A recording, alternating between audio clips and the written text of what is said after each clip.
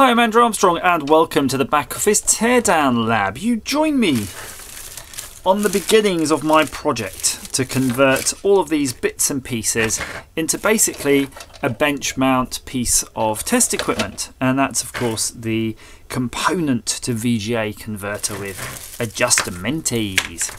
So, the first thing to do in this project is to remove all of the pieces from this board that I kind of don't want on this board anymore. And I'll just show you which they are. That's these variable resistors here. And that's because, of course, we're going to be using our pots instead. These are 500k, uh, sorry, 500 ohm resistors. And I believe our potentiometers are 1k or thereabouts. So not too bad. We can, we can work with that. So what we're going to be doing is unsoldering those. And in addition to those, we're going to unsolder these tach switches because it happens that I don't have tach switches and I kind of feel that I'm going to be able to do something with this panel. These aren't really functions you need to use that much. And initially I was thinking of putting a, a D-sub connector and just using an, like an Atari ST or Mega Drive controller to operate these. They're so infrequent, but I kind of think I'll use one of these generic PCBs and just sort of pull off those buttons, mount them here and just drill four little holes on the case and just hot glue that on. So we've got you know, remote control for that. So those are the ones I got to start with and all you're going to need if you're going to do that really is your solder sucker because they're all through hole components. So we'll start with those small potentiometers or variable resistors if you prefer to call them that. Let's just get in there. And we've got my new soldering tip, which still kind of looking pretty new. Credit where credit's due. What we're going to have to do as well at some point is to buzz out this these components, see where they're located, because we might have to basically, because we're adding them elsewhere, put a jumper across these. So I'm just turning up my soldering iron because I need that extra bit of heat. It's, this board is sinking heat like mad. So you might even need flux. If you've got some flux, definitely use it. And you can see that's working pretty well with just the addition of a tiny, tiny bit of flux.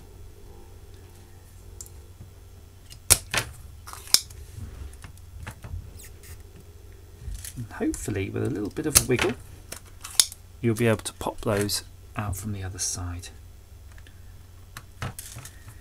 So all the things we're doing here though, nothing is irreversible, just remember that. If you really want to go back to your default configuration you can. The GBS boards though are pretty cheap. I suspect a lot of you if you make something like this you wouldn't probably necessarily want to go back.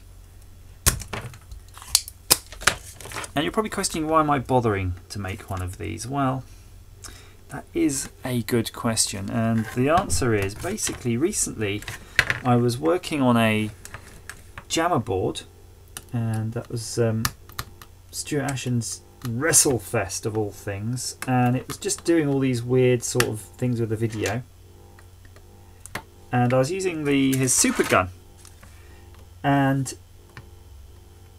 it sort of transpired after that that maybe the signals might not be optimal. And I kind of thought well if I had more adjustment when I was testing I would have been able to sort of work stuff out or play with it a little bit. And of course um, I didn't. I wasn't able to. His super gun was also using one of these. I think it might have been a version 5 unit. So as a basis for a project, these boards are so cheap, it's definitely worth using them. And I thought, well, why not? We can we get all these um, bits and pieces off eBay now, all of these bench um, enclosures and stuff like that. So let's just try to make something half decent. And you know, even we could even, if, if necessary, put a tiny bit of mass in the bottom, weight it down a bit if it's not weighty enough, make a, a nice bit of test uh, equipment.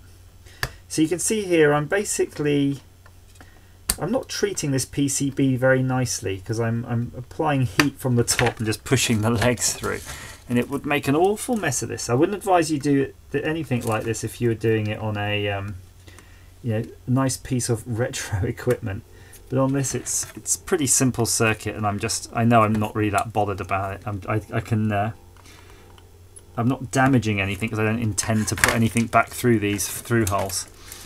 and we just got one more.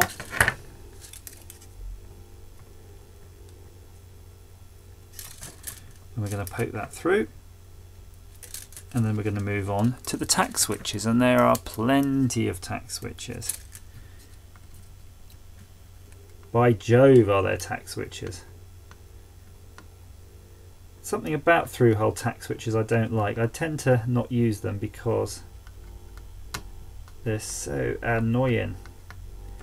Now interesting enough I do have there's a lot of conversation recently about solder suckers and I do have one of those fancy pants solder suckers. I certainly could be using one of those now in this. Maybe I should be.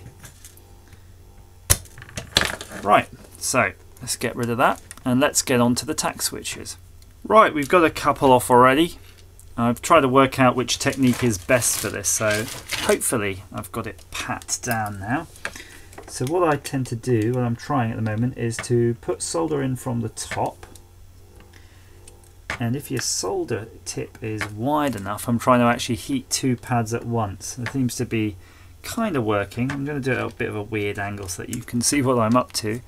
Um, but basically I'm trying to heat those two pads right there for example whilst you can see my fingers on top though um, levering the pad. You see? There you go. Leave it open. And do the same on the other side but that seems to work well. I mean, I think that's that's a pretty valid technique for getting off the tack switches. At least they still click and remain tacky when you're done. I did persevere with the solder sucker and stuff, but that was that was a mugs game. Don't bother with that. They will never want to go with that. I think it's because they've got quite thin legs and they're kind of angled. They've got like a bit of a weird spring steel leg or something yeah, yeah, touch the two. They like that. There we go. All done. If you see these connections here, those were the three pots that we've taken out. And they do need to be connected electrically, so they're bypassed. And that's from connecting here to here. So you don't need these. These are basically ground these would be the giving you the potential divider taking them to ground. We don't need that. So we're just going to go from here to here, here to here, here to here. But you'll see here I have dashed the track a bit. I was a bit overzealous. And you can see we have got a bit of a damaged track there. In fact, maybe there's a bit there too. But I'll work that out. What I think these... Oh, uh, there's a via there. Huh, that's a via and then the, my track that's ripped would go to here. So I'm going to put a little wire from here just to there. You can see they're just jumping up straight into this two resistors R56. You could actually do that for all of them if you want to, but these two are easy. They're not damaged. Just bridge, bridge, and here I'm going to go bridge to there. So you can see I've already joined two of those now, just using a bit of old resistor leg, something I'd line around on the bench. But this one really requires something a little bit more with a bit more finesse and that's some kynar. So we've got one end done there. You can see it's bonded. Pretty good. It's pretty good. It's pretty darn good. And then we're just going to bend that over. We're going to attach it to the edge of that surface mount resistor right there.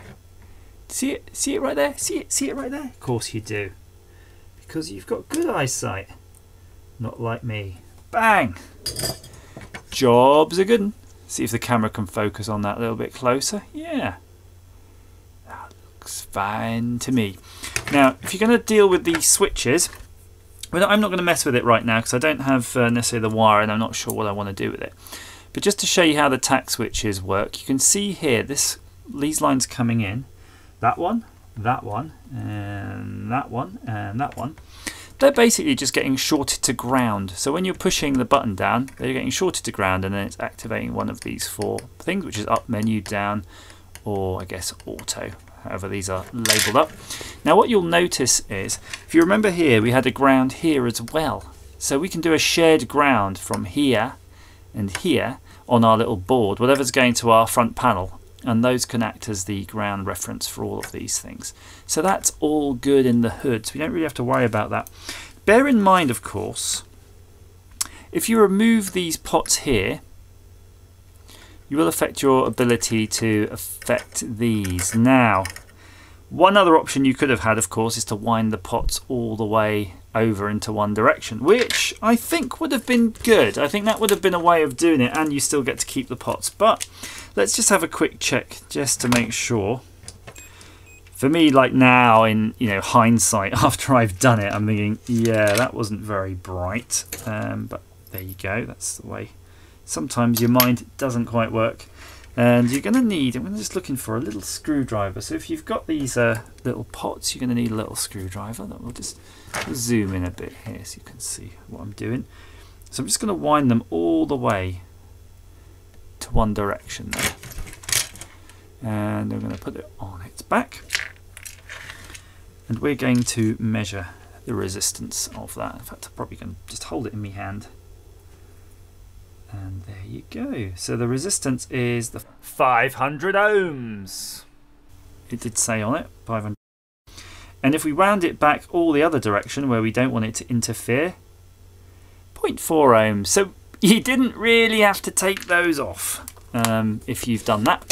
So up to you, really, if you take them off or not. Uh, I guess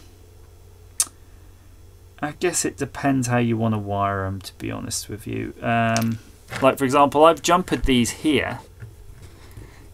And that's with the idea of just putting the pots in line with the inputs before they get here.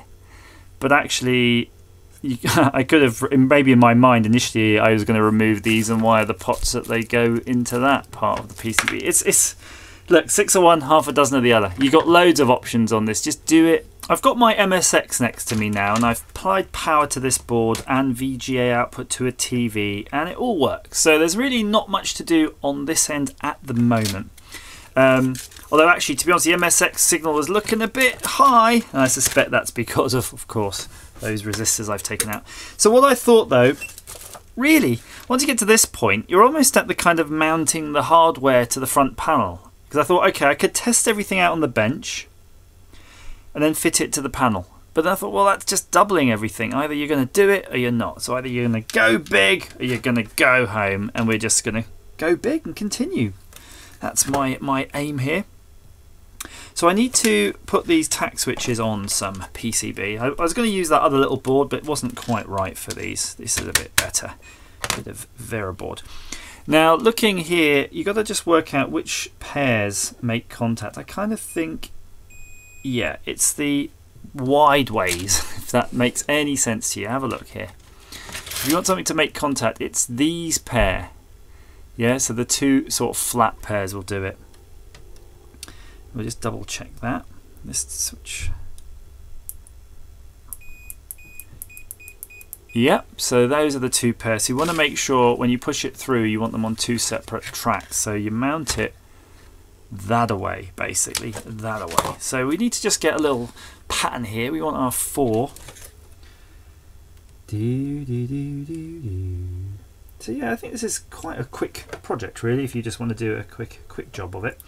Now, looking at the interwebs about the GBS boards, there are a bunch of mods you can make to the boards themselves to improve various issues that they have regarding noise and such. Um,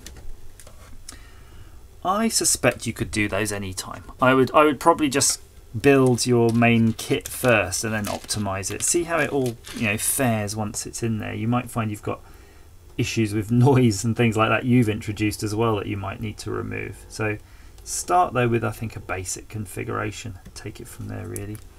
So that's a couple in there. Do I want to? That probably is about as close as you can get them really. So here is the end result. You can see I've kind of tried to tidy up the board a bit. So all you need to do for each switch, you see, I've, I've made a cut through the board here right in the middle. So that's separating the two switches that are actually in line with each other.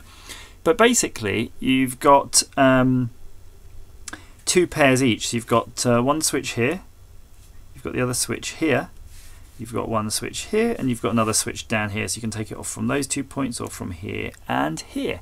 So what you can do, because it's all common grounded, you can work out a way where you want to ground a bunch of them. So for me, I would say ground those two there and ground those two there and then just join that to that and then that's your common ground. So we'll wire that up though in some sort of way in a moment. Now, before we do, just want to show you as well, this is the panel we're going to be using. So we want to mount that on there somehow. We've got to decide, a lot of things have to fit on here, so we've got to decide how we want to do it. But I'm thinking like, you know, shove it in the corner somewhere. We can make that PCB a bit slimmer if we want to get it right into the corner. But I think that's probably not too bad.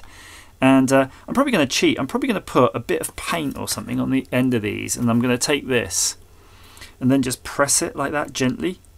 So I have four dots, and then I'm just going to run a drill through them. It's it's not I'm uh, you know I'm really this is not a fantastic high tolerance piece of bench equipment I'm making here. This is just me making it using quick and dirty tools like everybody's got at home to be you know better than messing with this on your desk where you want something um, a bit decent, something we can work with and do projects with. So don't worry about it if you do one and you know the the drill hole is slightly wonk or whatever. I mean, it's nice to take your time.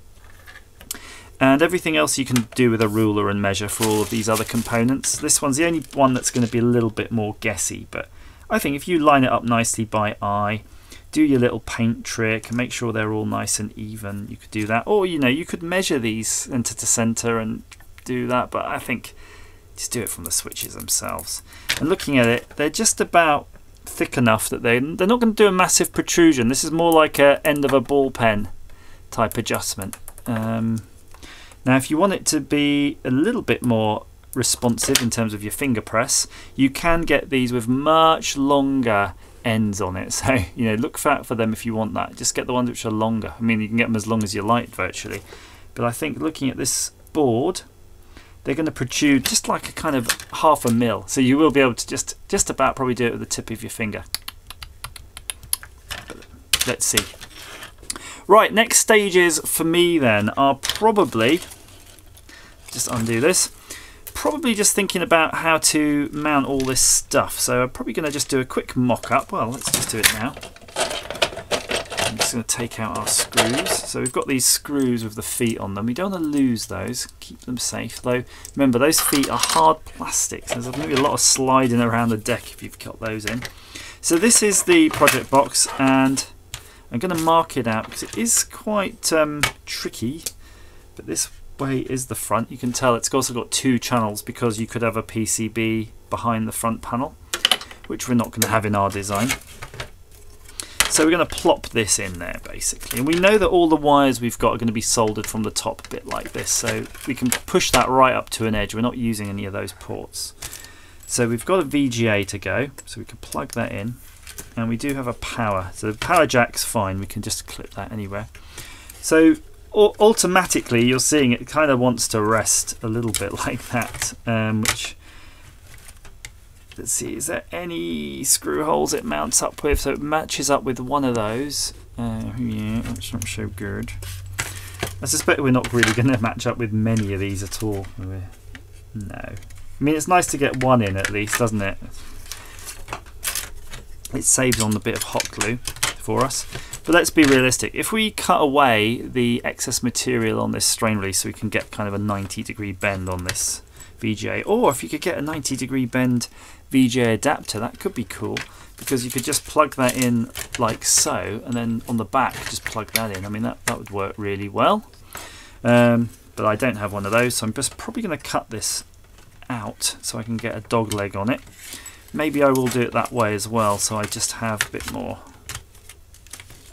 opportunity for this to arc around. I mean I could see it putting a bit of pressure on the case. Um, and you can see those are the main holes coming in there. This PCB actually has to be behind those, so it's going to be pretty tight. So I probably will have to do something to stop it touching the side of the case. But you can see there actually just a cable tie there is enough.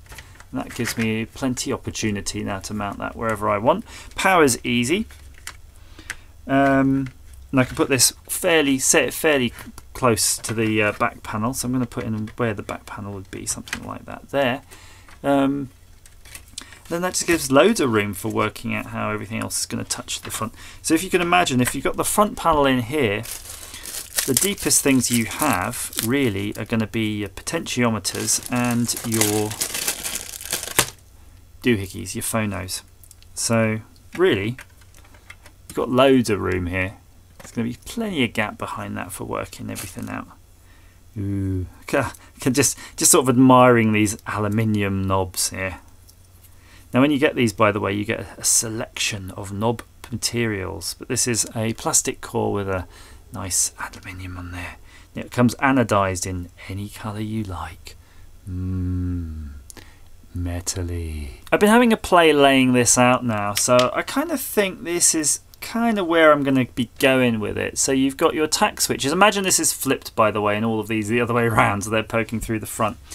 So you've got near the tack switch, you've got the volume control, and it's a different pot. It's got actually two two pots on it. You can see it's got double there. There's one and two rows of pins for that one. So it's stereo. not sure how we're going to deal with that yet.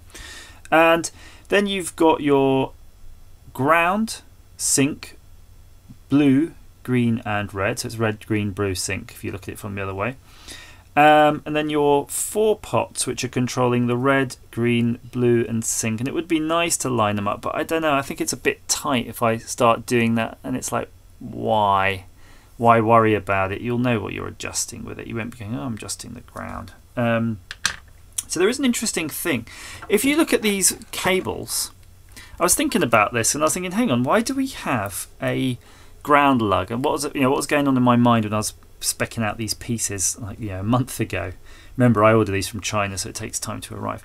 And um, I started looking at this and I started buzzing them out. Yeah, you see the outer parts of these phonos. They don't actually connect to anything, so these are actually floating. So on this cable, it's only the centers are actually hooked up, which is really weird. The earth for example, the ground doesn't even hook up to this part of the shell, it just hooks up to the pin on there. So I guess that's where I'm going with it. So I don't know if I actually even need these tags on here. So I might just be totally ignoring those. And the audio, of course, is different. Audio will be using one. So it's, it's kind of tricky, really, because if you imagine you have these tags, um, I guess you kind of don't want to hook them up to be the same potential. I, I, I really I really don't know. I mean, I, I guess I'll leave them floating. So I'm probably going to take them, I'm probably going to not bother hooking these up, these terminals. I'll just show you what they look like. Um, and put them in a box somewhere. or I'll hook them up, I'll just leave them floating and uh, just in case I need to use them in the future. But yeah, it's just basically some ring terminals where you can solder onto. But yeah, it's a bit of a weird one actually. It's it's funny when you start thinking about these things. I don't think you need them. That's my gut feeling, and it's better not to hook them up because if you're using a cable where those things are kind of hooked up, you might have a weird effect or some sort of weird ground loop thing going on that's unintentional. It's almost the sort of thing that you'd want if you're going to have it, that you could operate it by a switch just to sort of be able to switch between these different things. But I think this makes this makes sense. And if you look here, these are quite nice in that also I managed to get red, green, blue, uh, yellow for the sync, which is the white here in this case, and the black. So I think that all works out. Again, it was weird. I just did notice um, that I didn't manage to get hold of a yellow one, but I don't think there's a problem with that. So I'm going to try to mark this out a little bit more clearly with a ruler or something, and then just blat it out with a drill. Really, it's not. There's no rocket science there. I might just have one last little fiddle Ooh, these can line up, but then again, does that make them a bit too... I think that makes them a bit too difficult to twiddle then. I don't know, I don't rightly know.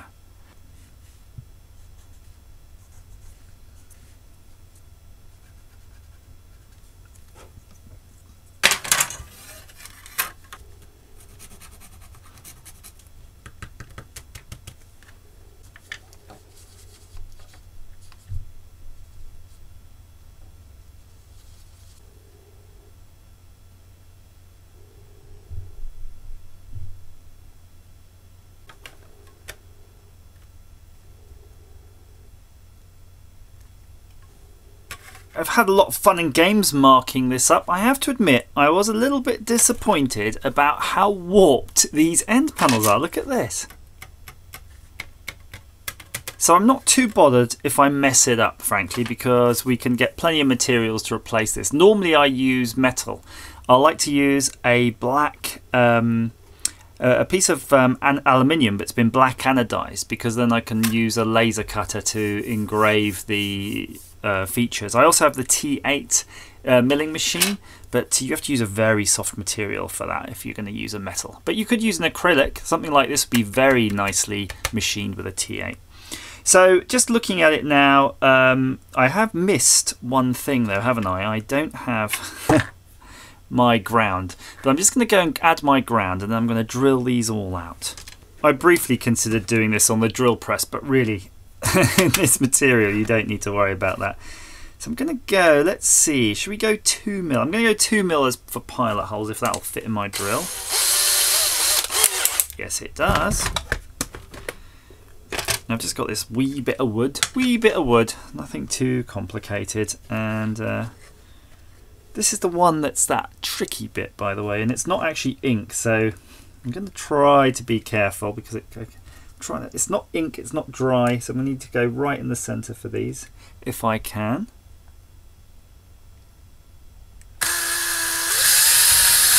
Yep, that was pretty much not centre. That one was better. centre enough. Ooh, well, it's done now. For wrong or for right, that is done now. And it's just wipe that off, that sort of graphite and Vaseline type stuff. Woohoo! So, hopefully, they're going to match up. Just going to make those a bit bigger at some point. Right, just going to battle on with the rest of them.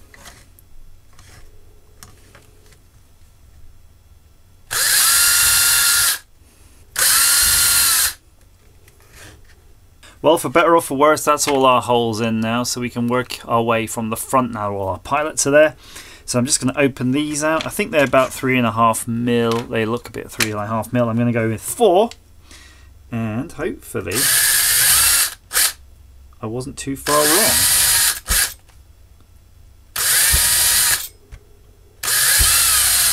Or else I'm going to have a date with a file. Get all that swarf. Swarf and electronics, eh, on the same bench. There you go. Look at that. Look at that bad boy. What did I say about the protrusion, right? It's so fine. It's definitely doable, though. It is doable by finger. Nice. Nice. Gonna have to be careful though not to overcook these though. You don't want them to bind up. So I don't know. Almost tempted to take that out to a five really. Mm, well, four and a half shall we say. What do you reckon? Yeah, come on. Four and a half it is.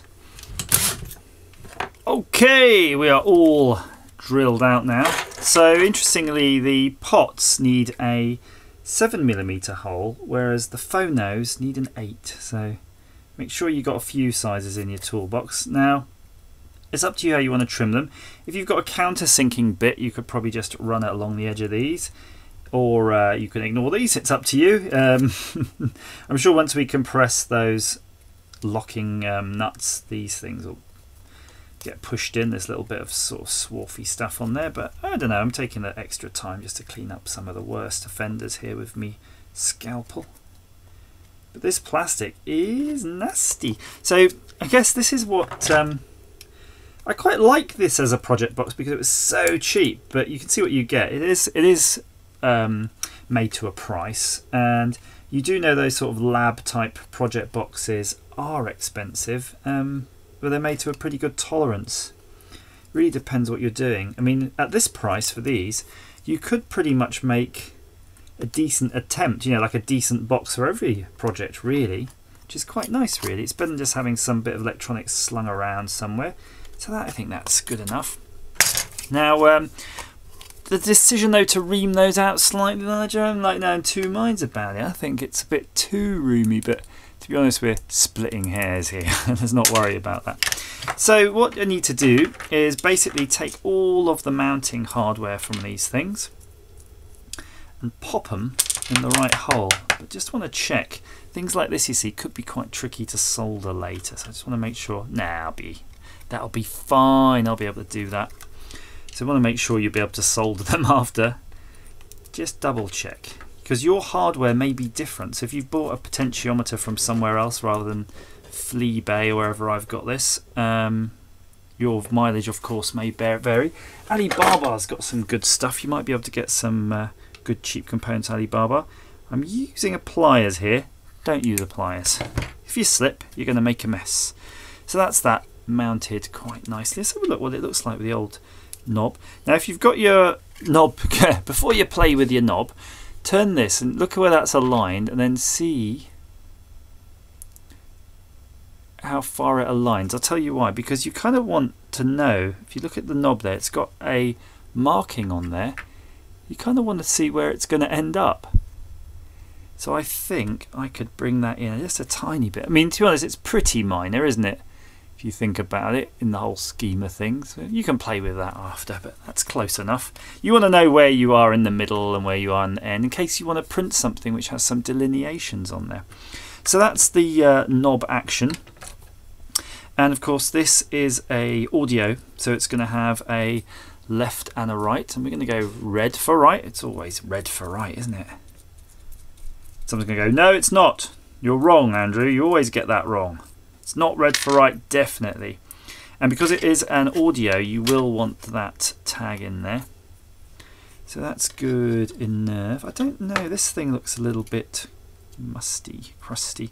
I've had to reuse, um, sort of pinch basically one of these rings from the uh, one of the other ones because I only had only came with basically I only ordered one red where I should have got two and uh, the issue is it's got two of these red rings. One is a, a, sort of a mounting quality one and then one's a sort of just retaining quality one. So this is just a, a retaining quality one. It's not quite as pretty to be honest with you.